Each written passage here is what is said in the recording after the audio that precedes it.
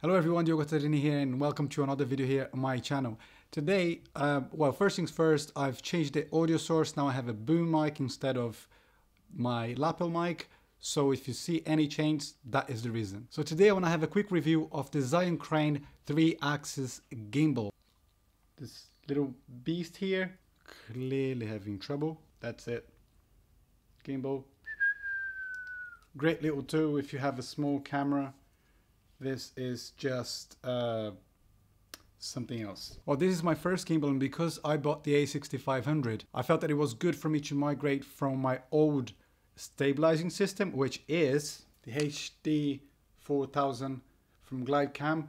Great product. However, because I bought the A6500, I felt that I needed something smaller, especially when traveling, because I've been traveling a lot to Asia and all these little things obviously add to your luggage. So I think the gimbal system is great. I'm still getting used to it. I literally just got a few days ago. It's definitely not as easy as you may think.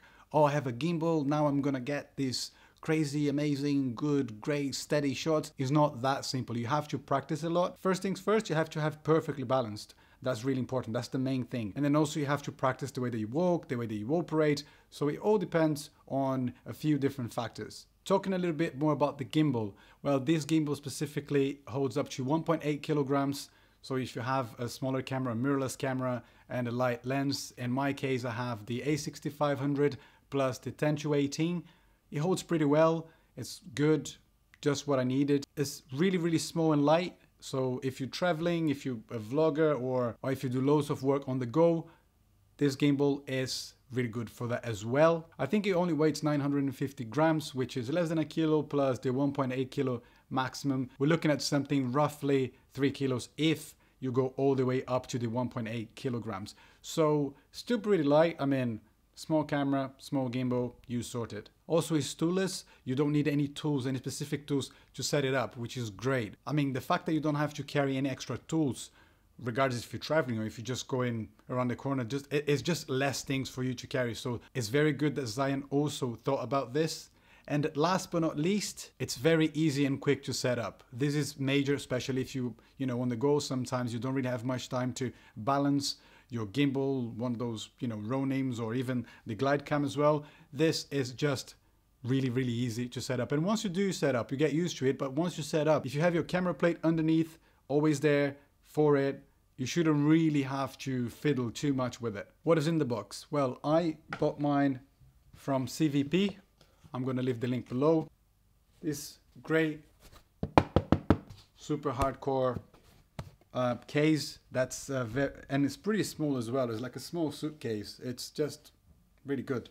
I mean, in the box, you have the gimbal itself, you've got the batteries, you have the USB cable, you have the charger, the lens support, if you need a lens support, as well as the screws, the two screws that you have to mount your camera onto the gimbal and also the screw for the lens support, which is very useful if your lens sticks out a little bit. I haven't had the need to use it because my lens is pretty short, but it's also very useful if your lens extends a little bit and you want to balance. So that's pretty good from them as well. So the Zhiyun Crane offers three different modes. So you basically have the mode that it follows the movement that you're doing. So up and down, side to side.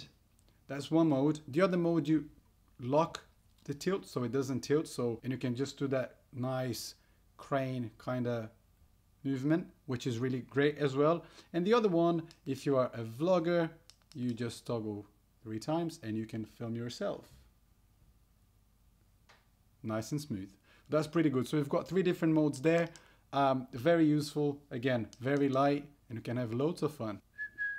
Whoa. Very useful tool. On the back of the gimbal, that's where all the magic happens. So you have the mode button where you toggle the three different modes. You have your joystick button that depending on the mode that you chose, you can tilt and pan, as well as if you hold it down for three seconds, you can leave the gimbal on standby. You have your power button that you can turn the gimbal on and off. And you also have the shifter button, which with the help of a USB cable that you can buy from them, you can zoom in and out. So you basically don't have to touch your camera, your lens. And also you can start and stop your recording.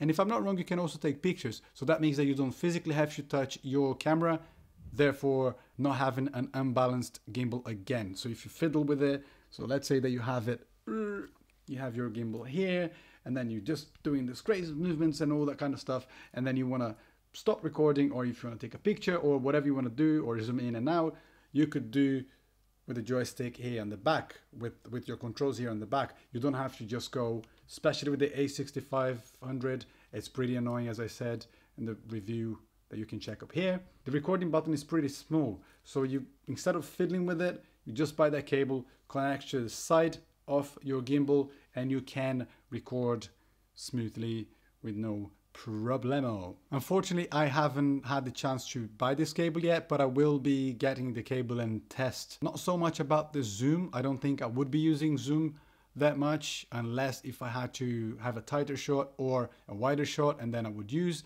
but that doesn't really bother me stopping and then just doing it manually. However, the recording function is very, very useful. So I will try to get this cable as soon as I can to make my life a bit easier. One tip that I have for you guys that I think is quite interesting is adding a base plate. So what I did here, you can add to the bottom of the design, what you can do, you can add the screw that is provided straight to your camera. However, to make my life a bit easier, what I did, and I think you should buy one, you should do as well, is I've added a Manfrotto base plate.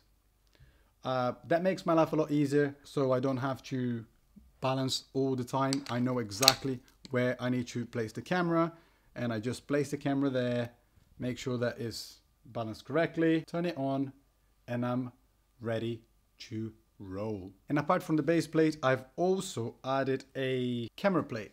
So if I need to balance, uh, I have my tripod, I need to balance, I just stick this onto my tripod and it does help me to balance my gimbal. So I'll definitely suggest to get one of these as well. I mean, depending on what your system is, mine is mine is all Manfrotto, so I have Manfrotto plates. But I do think that this makes your life a lot easier as well when balancing your gimbal. Oh, and by the way, another way that you can operate your gimbal is upside down. So if you want to get those really dramatic low shots of your pet maybe or I don't know, someone walking, you can just operate it like operate it like this as well. So you basically turn it upside down, just like so, and you can operate your beauty just like that as well. And you can get some really really good low shots. So that's pretty useful as well. And if you add this plate i mean you don't necessarily have to have a big plate like this but if you do it also obviously if it's make sure that it's secure you can also rest your fingers a little bit like this as well. So i think it's quite good to have the system set up like this. I mean what do you think? Hello so that's it for today guys. I hope you guys enjoyed the video today. If you like this video, give us a thumbs up. If you haven't subscribed to the channel, do so. Turn on those notifications and I'll see you guys in the next video. Peace.